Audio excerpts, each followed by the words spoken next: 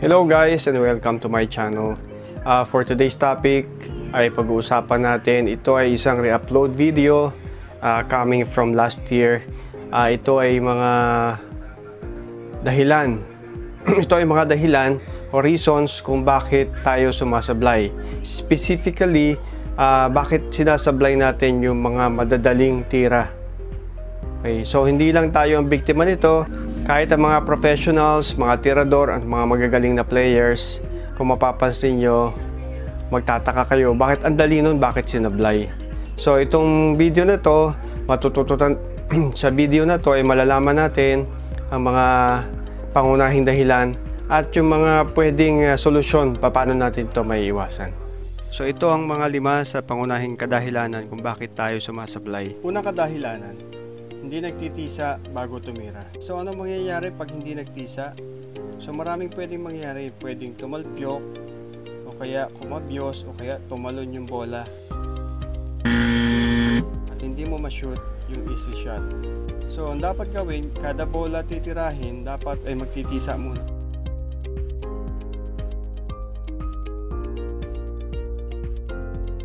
Number 2 ay gumagalaw at tumatayo agad pagkatira.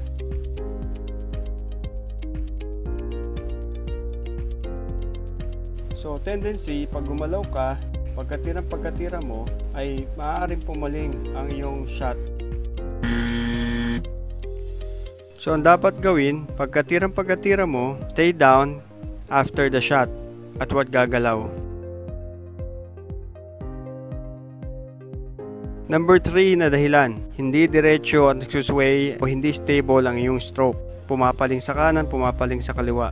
Tendency nito ay papaling ang iyong tira. Number 4 na kadahilanan, maling tayo o mali ang ating stance. Pagka ganito, hindi naka-align ang ating paa, mata at cue, sasablay tayo kahit simple lang ang tira, kahit madali lang ang tira. So una, magtisa, silipin at asintaing mabuti ang line of shot, mag pre-stroke, CI alignment kung nasa tamang alignment ba ito tapos bumaba maging kalmado, focus, tingnan ang cue ball at object ball at tirahin.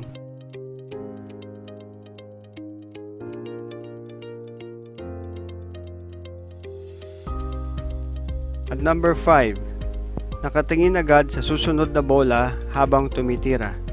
Hindi naman masamang tingnan ang preparation.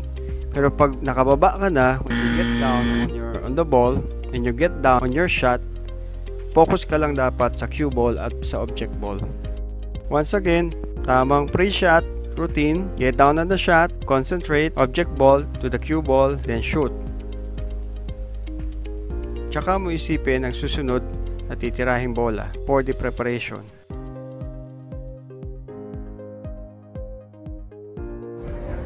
So I hope we learned something today dito sa ating simpleng video at yun ang uh, lima sa pangunahing dahilan kung bakit sumasablay tayo sa simpleng tira. Uh, kung napanood yung uh, full length ng video, nakita nyo kung ano yung mga dahilan, kung bakit, kung bakit natin sinasablay yung mga easy shots at uh, ano ang mga pwede nating remedyo o solusyon para maiwasan ito. Kung nagustuhan nyo po yung video, uh, please uh, like and share and uh, kung may comment kayo, please comment below And uh, sa mga hindi pa ho nakaka-subscribe, please subscribe and hit the uh, notification bell para ma-inform kayo sa mga upcoming future videos. Thank you and more power.